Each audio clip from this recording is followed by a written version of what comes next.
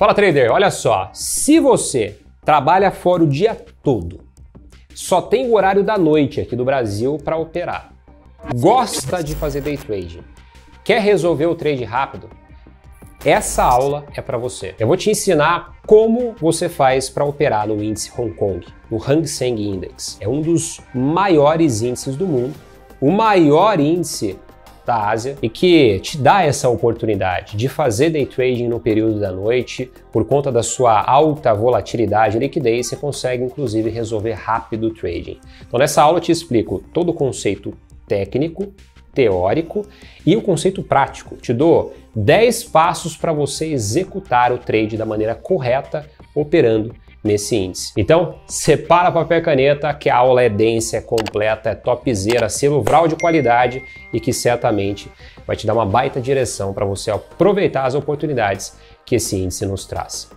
Confere aí. O Hang Seng Index, né? O Hang Seng, conhecido como Hang Seng Index ou HSI para os mais íntimos, é o principal índice da bolsa de Hong Kong. Ou seja, reúne as maiores e mais importantes empresas que negociam essa bolsa. Uma subsidiária da bolsa de Hong Kong mantém esse índice desde 1969, turma, o qual visa a liderança do mercado de Hong Kong e cobre aproximadamente 65% da sua capitalização de mercado total. As empresas que fazem parte do Hang Seng estão enquadradas em um dos quatro subíndices. Então, olha só, nós já sabemos que o Hang Seng é um dos maiores índices da bolsa, das bolsas asiáticas do continente asiático. E as os grupos de empresas que compõem esse, esse index, né, esse índice, primeiro lugar, são as empresas de comércio e indústria.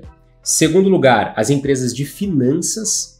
Terceiro lugar, as empresas de serviços públicos e, por fim, as empresas de propriedade. Principais, as três principais empresas dessa lista de empresas que compõem esse índice são o HSBC Holdings, né, que é uma empresa britânica, todo mundo sabe, um grande banco, banco britânico a nível global. Depois, o Hang Seng Bank, que é um banco de Hong Kong, e ele foi fundado né, nos Estados Unidos só que ele é um banco de Hong Kong, e o Aya Group, que é a maior seguradora da Ásia, do continente asiático. Então essas são as três maiores empresas que compõem esse índice. Quais, quais são as vantagens de operar no Hang Seng Index, turma? Por ele ter um alto volume de negociação, ou seja, os traders do mundo todo, grande parte dos traders do mundo todo, operam nesse índice, ele se torna muito atrativo porque isso nos traz condições de mercado que são altamente propícias para nós traders que buscamos especular no mercado, que é volatilidade e liquidez. O que é volatilidade e liquidez? Volatilidade é a capacidade que um ativo tem de sair de um ponto X até um ponto Y com velocidade. Então ele é volátil, ele anda com velocidade. E liquidez é que sempre tem uma contraparte, é um ativo líquido, que você não tem que ficar esperando para abrir a tua posição, não tem que ficar esperando para acionar um take, uma ordem de take profit, uma ordem de stop loss. A parada acontece de forma rápida ali. Né? Sempre tem uma contraparte, sempre tem alguém para aceitar a tua posição. Joia? Então por isso pode-se dizer que o Hang Seng é um dos índices mais importantes do mercado financeiro internacional propriamente dito. Né? Vou compartilhar com vocês aqui uma curiosidade né, desse índice. No dia 14 de junho de 2018, ele caiu mais de 375 pontos, o que representou um percentual de 1,2%. Queda essa que foi devida especialmente a questões sobre empréstimos hipotecários gerando um aumento de taxa de juros. Então, no dia 14 de junho de 2018, a gente teve uma oscilação grande por conta desse evento em específico. Quanto que vale cada ponto no HK Comp? Então, se tratando de XTB, turma, o índice, o, Hang Seng Index, o HSI, né, ele aparece com a sigla HK Comp.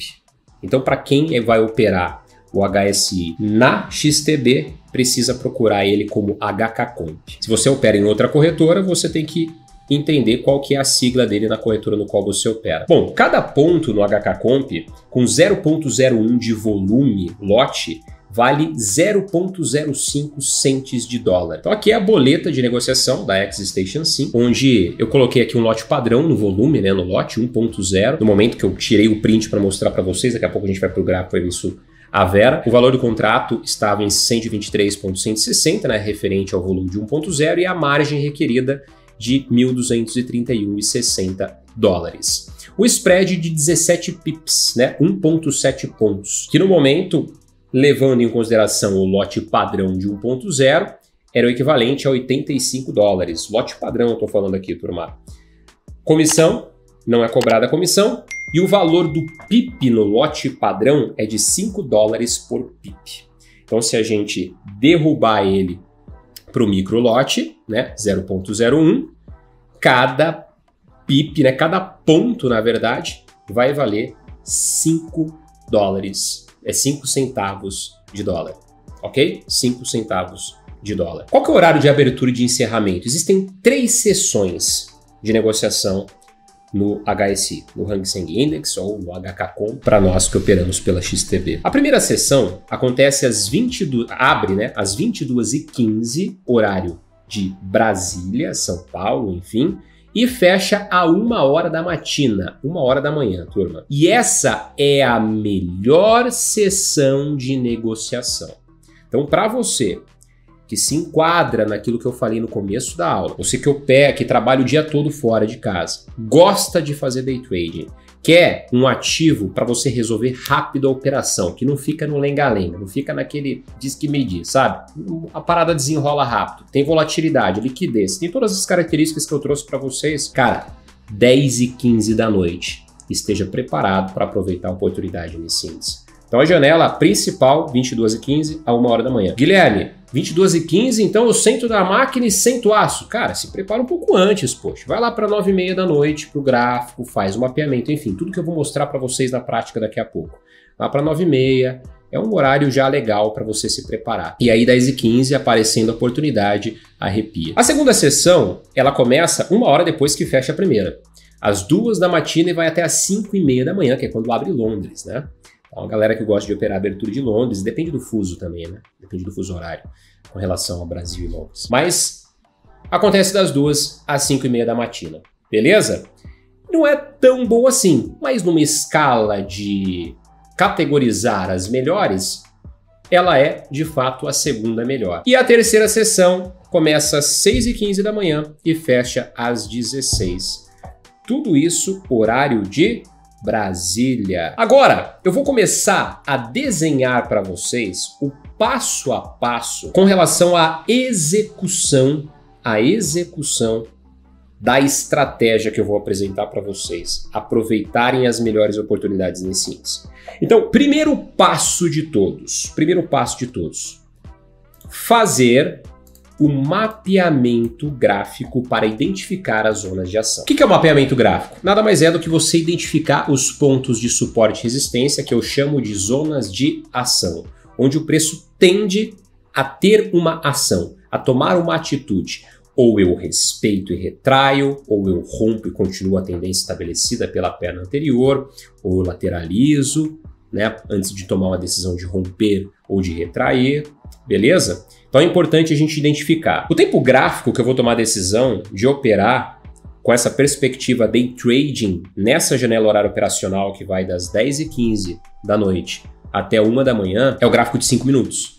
Então eu vou fazer um mapeamento gráfico vindo lá do tempo gráfico maior até o gráfico de 5 minutos. E eu vou mostrar isso na prática para vocês. O ponto número 2 desses 10 passos para a execução da estratégia é identificar a tendência macro e a tendência momento do ativo. Então a gente tem duas, nós temos duas tendências. A tendência macro é aquela de amplitude maior. Você olha num time frame maior você fala assim, velho, tendência de alta, absoluta, ou tendência de baixa.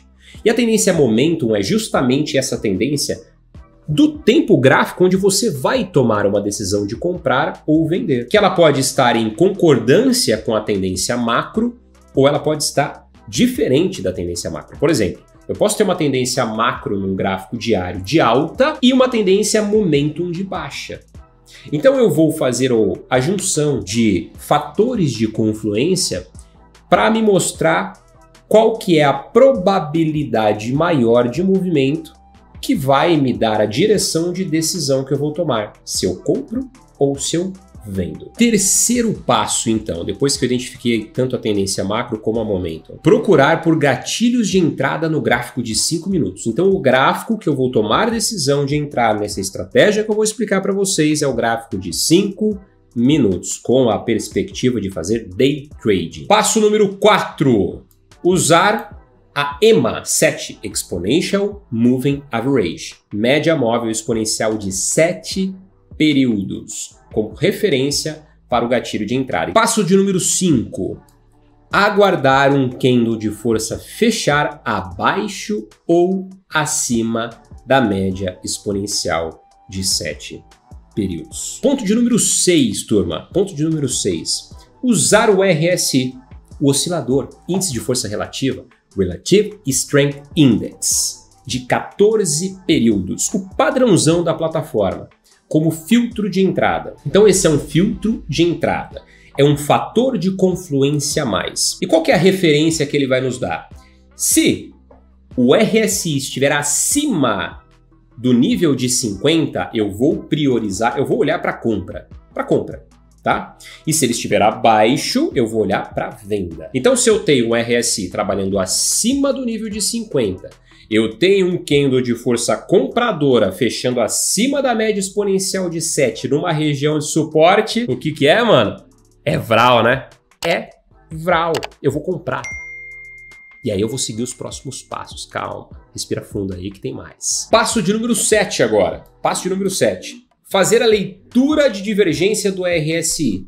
Fator de confluência. Então, eu já tô com o RSI plotado para fazer a leitura do nível de 50%. Se eu tô com ele plotado, por que não verificar a divergência? Pô, eu posso verificar a divergência, tá lá, tá na minha cara, cara. Divergência é lindo para identificar estresse de preço, ponto de reversão, entende?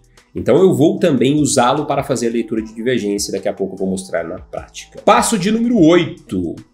Colocar ordem pendente abaixo ou acima do candle de gatilho. Então, observa isso. Eu não vou entrar mercado.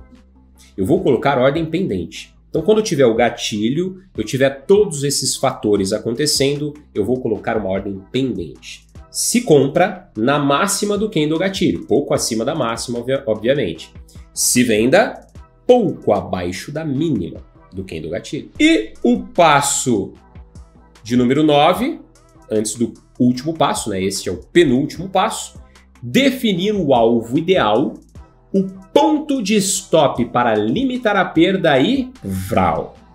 Definir o alvo ideal, o ponto de stop para limitar a perda e vral. Entra no trade sem titubear. Elimina a expectativa. Assuma o risco atrelado ao trading, aquele risco que você aceitou antes de abrir o trade.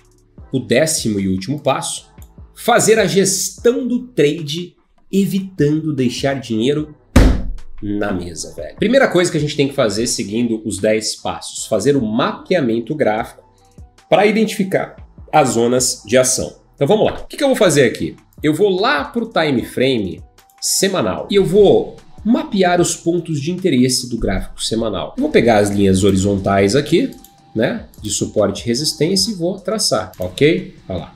Beleza. E aí eu vou duplicar ela aqui vou colocar ela num ponto de resistência também, mais próximo do preço. Não faz sentido eu traçar essa região aqui em cima, turma. Por quê? Porque antes do preço chegar aqui em cima, ele vai chegar em pontos mais recentes. Então eu vou traçar, por exemplo, essa região aqui, que faz mais sentido. E olha só, como que eu traço suporte e resistência, Guilherme?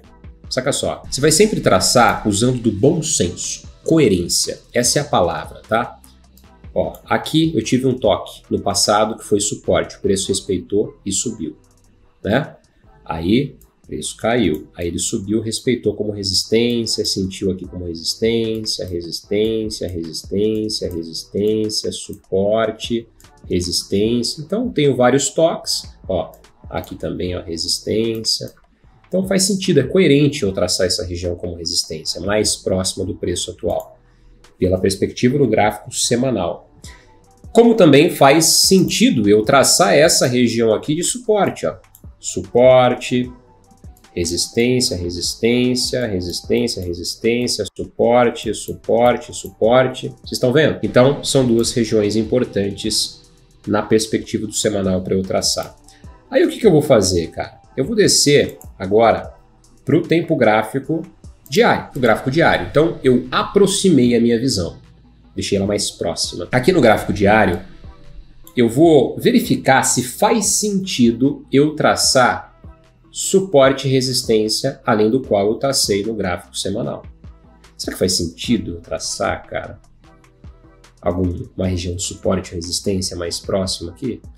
Pelo gráfico diário, não. Talvez vai fazer mais sentido quando eu descer para 4 horas. Então agora eu vou descer para o tempo gráfico de 4 horas. Olha que massa, cara. Aqui em quatro horas eu já percebi de maneira mais aproximada que ele respeitou né, essa região de suporte que eu mapeei. E aí, a pergunta que eu faço, será que faz sentido eu traçar alguma região de suporte e resistência aqui mais próxima? Talvez em H1 vai fazer mais sentido, vamos ver em H1. Então até agora eu tracei só aquela do semanal mais próxima, porque eu não vi nenhuma outra mais evidente. Agora sim, ó, aqui em H1, eu tenho algumas outras regiões a serem traçadas. Deixa eu diminuir um pouco o zoom, só para eu ter uma visão de amplitude maior. E eu vou fazer o seguinte, ó. Eu vou traçar essa região aqui, que no passado foi suporte, aqui o preço acumulou, né? Foi suporte, resistência. E aí eu vou mudar a cor da minha linha para eu saber visualmente falando. Eu vou deixar, cara, ele aqui no azulzinho. Azul bebê. Ó, azul bebê. Vou diminuir um pouco a espessura. Ok. Legal. Eu subi aí, tá? Não tá aparecendo na câmera agora, não. Azul bebê. Essa região aqui é uma região de resistência mais próxima do preço. Tá? É um ponto de parada.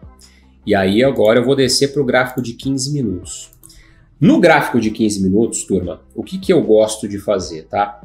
No gráfico de 15 minutos, eu gosto de traçar três principais regiões. Deixa eu dar uma ajustada nesse cara aqui.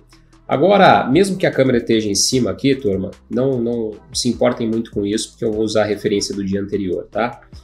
Eu vou traçar máxima do dia anterior, mínima do dia anterior e preço de abertura do dia como referência de suporte e resistência intraday. Então, por exemplo, eu tenho aqui os separadores de períodos. Eu sei que aqui começou a, a janela de negociação no index, né, no, no HK Comp e aqui finalizou referente ao dia anterior. Aqui começou no dia de hoje e finalizou, né? Quando abrir agora a primeira sessão, vai aparecer uma outra linha como essa aqui. Na verdade, quando der zero horas, né? Vai aparecer uma outra linha como essa e eu vou ter o contexto do movimento de 24 horas do índice. Então, no dia anterior, que é a referência atual que nós temos, eu vou traçar o quê? A máxima do dia anterior, que é o ponto máximo que o preço chegou no dia anterior, a mínima e o preço de abertura do dia em questão, que foi aqui, tá? Que é justamente, aí na máxima do dia anterior eu vou mudar a cor, para sempre ficar visualmente mais claro do que, que se trata essas regiões, tá, turma? Ó, vou deixar no branco aqui, ó. A mínima eu não vou traçar porque ela conversa justamente com aquela região de suporte que eu tracei em qual gráfico? No semanal. Como que eu sei disso? Porque tá na cor vermelha. Eu deixei na cor vermelha quando eu tracei lá. Agora o preço de abertura, eu vou duplicar esta linha branca e vou colocar aqui, ó, neste ponto, neste candle aqui, que o preço abriu. Tá? Inclusive, é onde o preço parou quando fechou a última sessão de negociação do HK Comp. Então agora, qual que é a leitura que eu tenho? A leitura que eu tenho é de uma divergência no RSI, nesse ponto anterior aqui mais próximo, nesse ponto de suporte, nesse fundo mais recente. Olha só, eu tenho aqui um fundo mais baixo que o fundo anterior, enquanto o RSI me mostra um fundo mais alto que o fundo anterior. Então aqui eu tenho um comportamento no oscilador divergente do comportamento do preço. Quando eu tenho divergência, o que é divergência me traz de informação? A divergência me traz de informação que existe uma probabilidade, nesse contexto aqui que a gente está analisando, de cansaço por parte dos vendedores e uma intenção, uma força, uma vontade maior por parte dos compradores. E nós vimos isso confirmado pelo movimento posterior, né? Os compradores de fato entraram. com um pouco de morosidade por conta de ser a terceira sessão de negociação. E observa que às 10h15, deixa eu pegar aqui este camarada, ó, tá vendo? 10h15 quando abriu, olha só como o mercado fez um movimento de amplitude, vontade, velocidade, volatilidade, liquidez. Vral, velho. Ó, das 10h15, que é o horário que ele abriu, até a 1 da manhã, ó, que massa. Aqui, ó. Até 1 da manhã, ele resolveu, cara. Você teve a oportunidade de resolver ali um trade rapidinho nessa janela operacional. E não necessariamente você teria que ficar das 22h15 a 1 da manhã. Você podia ter resolvido antes. Por quê? Porque eu estou mostrando para vocês aqui M15. Você pode surfar uma onda M5, que é o ponto de entrada, o gatilho de entrada em M5. Vocês lembram quais são os indicadores que eu falei para vocês que nós vamos utilizar para identificar o gatilho de entrada nesse setup? Primeiro, média exponencial de 7 períodos. Essa, esse cara aqui, ó, essa cara, né? Esse cara aqui, ó. 7 períodos, essa branquinha aqui, tá? Média móvel exponencial. Guilherme, como que eu faço para aplicar, cara? Deixa eu tirar ela aqui, eu vou aplicar. Vocês vão vir aqui no canto esquerdo, vão vir aqui em FX, né, função, indicadores, e vão digitar aqui EMA, de média móvel exponencial, né, Exponential Moving Average. Aperta aqui, coloca o período, coloca a cor, a espessura que vocês querem aplicar. Ó, ela apareceu aqui, ok? Vocês observaram que tem uma outra média aqui que eu não falei para vocês nos 10 passos? É a média de 200. Eu gosto de deixar ela aqui por um motivo, e aqui vai uma dica extra para vocês na construção desse passo a passo para execução da estratégia. Ao colocar a média de 200, simples, então eu vou tirar ela daqui, ó, vou tirar e vou colocá-la. SMA, Simple Moving Average, média móvel simples. Vocês vão colocar aqui 200 períodos. Eu gosto de deixar a média móvel de 200 períodos na cor vermelha, espessura 2 aqui para não ficar tão fina e aplicar. Vocês vão usar ela como referência de imã. Então, por exemplo, quando o preço foge dela de maneira brusca, ele tende a buscar ela.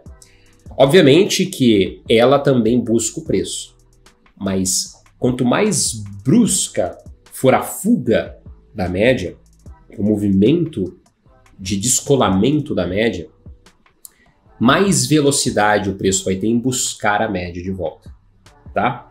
Então, vocês observam que aqui a gente, nesse, por, por exemplo, nesse gatilho de compra que aconteceu aqui, nós tivemos divergência RSI, nós tivemos o gatilho nesse candle aqui de trás, né? Porque, porque tem um filtro de compra e o preço distante da média de 200. Então a gente tem fatores de confluência que nos trazem informações pertinentes para nos fazer escolher comprar. Gatilho de entrada qual é, turma? Gatilho de entrada, como eu falei para vocês, eles vão usar o RSI, né, de 14 períodos. Essa linha tracejada aqui, ela está no nível de 50% para nos dar parâmetro de enxergar o RSI acima do nível de 50 quando tiver um gatilho de compra e abaixo do nível de 50 quando tiver um gatilho de venda.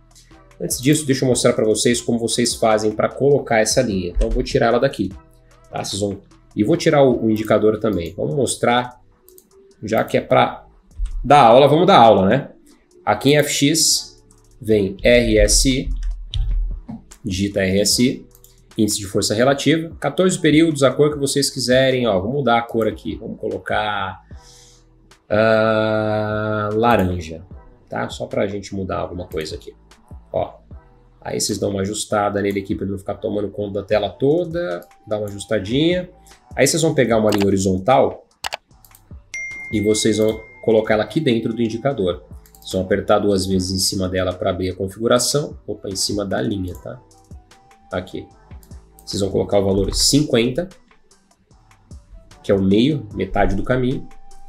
Vou deixar na espessura 2 e vou mudar aqui para tracejada. Massa. Eu tenho aqui a minha linha mostrando a metade né, do caminho. Então, olha só. Nesse, nesse contexto aqui, nesse primeiro gatilho, eu não entraria, por quê? Porque o RSI não confirmou. Ou seja, apesar, olha só que massa, apesar de eu ter tido um candle, ó, aqui atrás, um candle fechando acima da média de 7, tá vendo esse candle de força compradora depois daquele movimento do, do RSI, da divergência, fechando acima da média exponencial de 7 períodos? Por que, que eu não colocaria a ordem pendente de compra aqui em cima? Porque o RSI estava trabalhando abaixo do nível de 50. O RSI aqui ele mostra para nós, ele é um filtro que mostra força, volume no movimento. Tanto que depois, o que, que aconteceu? O mercado ficou no lenga-lenga, ficou lateralzão, né? Ele trabalhou abaixo, veio testar o suporte mapeado, lá no primeiro passo dos 10 passos, e aí ele deixou novamente um candle de força compradora, né? Esse pimbarzinho aqui fechando acima da média de 7. Agora sim, eu tive um candle de força fechando acima da média de 7 e o RSI trabalhando acima do nível de 50. Nesse momento, ordem pendente de compra acima do candle, stop loss aonde?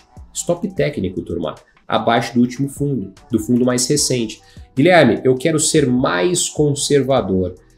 Posso colocar abaixo desse fundo aqui mais expressivo. Não vai ficar tão longe.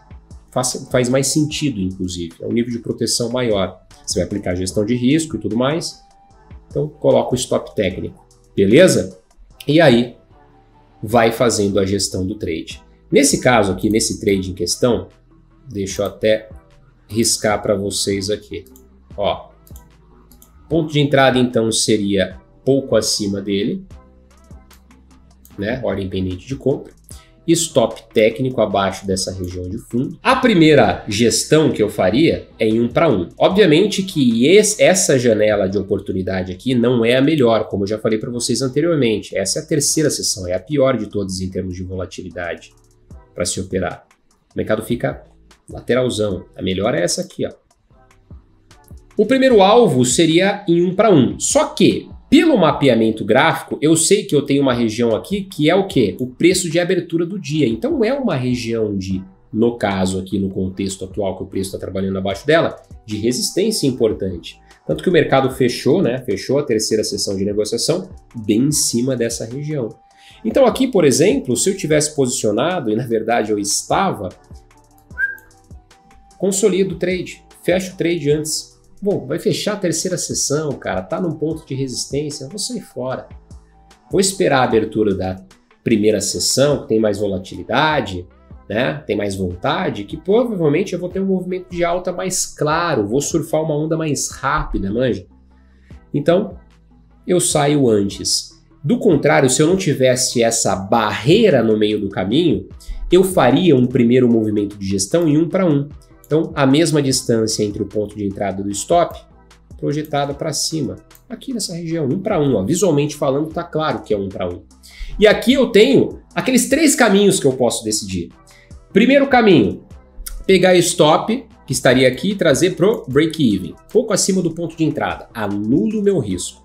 Segundo caminho, manter o stop onde estava, mas sair com 50% do lote. Se eu entrei com um lote padrão de 1.0, eu saio com 0,50. Entende? Tanto que se o preço voltar no meu stop, eu saio no 0 a 0 da mesma maneira. Porém, eu dou mais espaço para o preço respirar, porque o preço pode muito bem voltar, dar uma sambada aqui, ganhar força e subir. Se tivesse um break-even, tinha me tirado precocemente. E o terceiro caminho é eu fazer a parcial de 50% do lote, por exemplo, e levar o stop para o break-even. Fazer as duas manobras. Joia? E o meu alvo ideal aqui nessa, nessa situação, turma? Cara, o meu alvo ideal pode ser média de 200, usando o conceito de imã, o hackzão, a dica extra que eu trouxe para vocês aqui na construção do método, ou essa região aqui que eu mapeei em 24994, que é a região que eu mapeei lá no gráfico de uma hora. Como que eu sei? Porque eu coloquei na cor azul. Que é uma região de suporte no passado, que agora, como o preço está abaixo dela, vai funcionar como resistência. E que vai dar basicamente 2 para 1, né?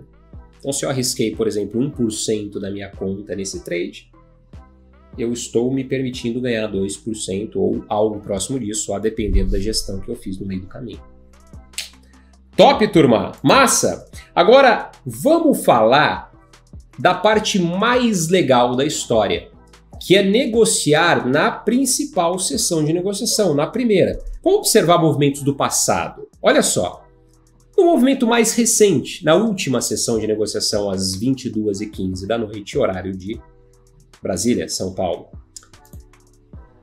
O preço saiu desse ponto e chegou neste ponto. Ó, este movimento aqui foi o movimento desta sessão.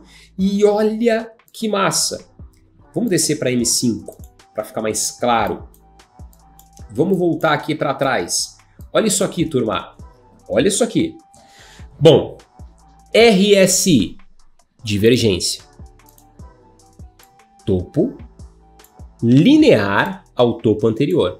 Top? Tá claro?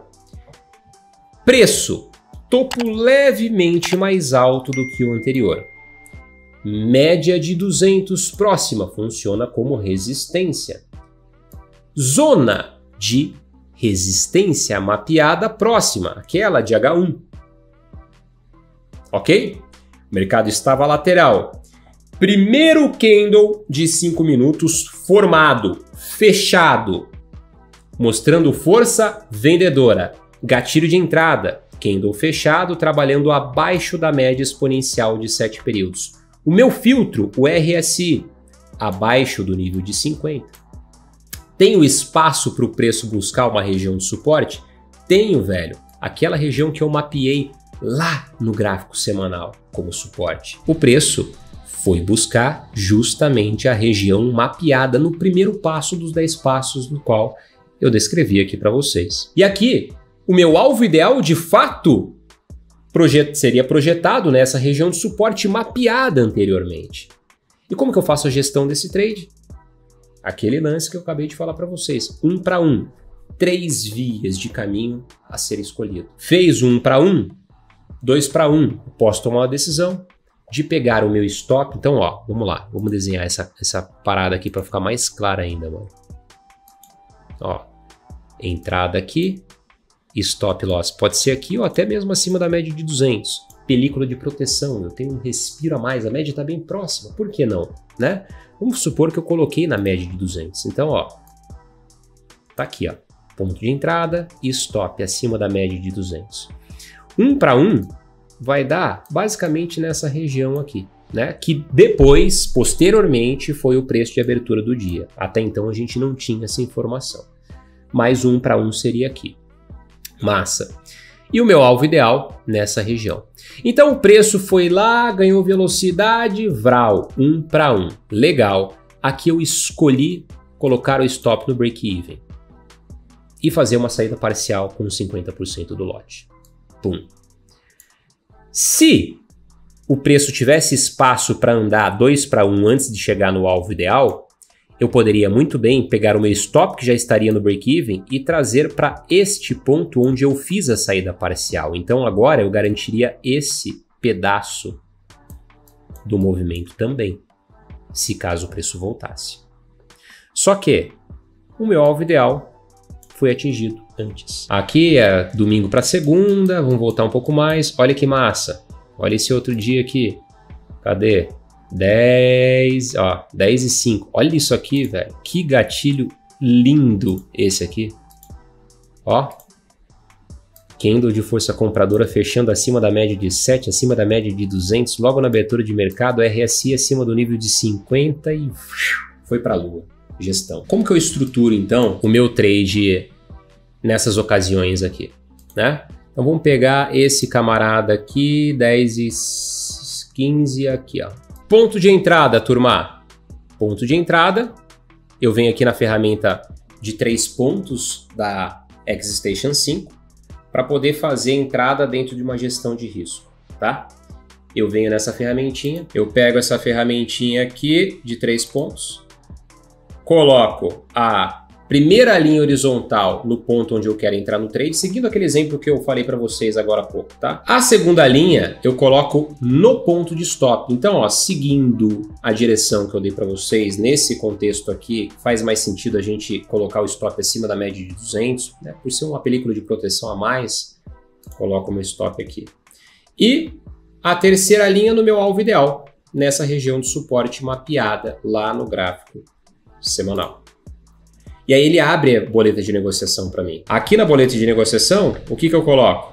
Eu coloco o lote, né, o volume que eu quero entrar, e aí ele vai me mostrar quanto que eu estou arriscando em dólar, quanto que eu estou arriscando em valor percentual, quanto que eu estou projetando ganhar em dólar e em valor percentual. Então, por exemplo, se eu quero arriscar 2% da conta, eu coloco um volume aqui de 0,02. Ó, tá arriscando 1,70. Se eu colocar de 0,03, vai passar de 2%, vai para 2,5%. Ah, então eu vou ficar em 0,02. Tá vendo? Aqui embaixo. Aí você vem e pum, aciona a ordem pendente. Agora está me deixando colocar uma ordem limite porque o preço está trabalhando abaixo desse ponto. No momento em questão, esse botão estaria escrito Sell Stop, tá? Uma ordem de stop sendo acionada logo no rompimento da mínima do candle gatilho. Tá joia? E aí? Te ajudou? Se te ajudou, você já sabe, né? Sabe? Não? Bom, deixa eu te falar. Aperta no curtir, rasga o likeão, se inscreve no canal, ativa o sino e compartilha, velho. Passe esse vídeo adiante, porque se te ajudou, vai ajudar outras pessoas também. Esse é um jeito de você falar para mim que o conteúdo é massa, você fala para mim assim, Guilherme, cara, que top. Sou grato pelo conteúdo, faz mais para nós, tamo juntão. E olha só, se você quiser ter acesso a conteúdos ainda mais densos, ainda mais completos que esse para te ajudar a estruturar o teu negócio de trading do jeito certo, em pilares sólidos, para que você atinja a consistência e possa viver de trading, aperta no link na descrição do vídeo e entra na comunidade o Trader que Multiplica. Forte abraço, tamo juntão e até o próximo vídeo. Valeu!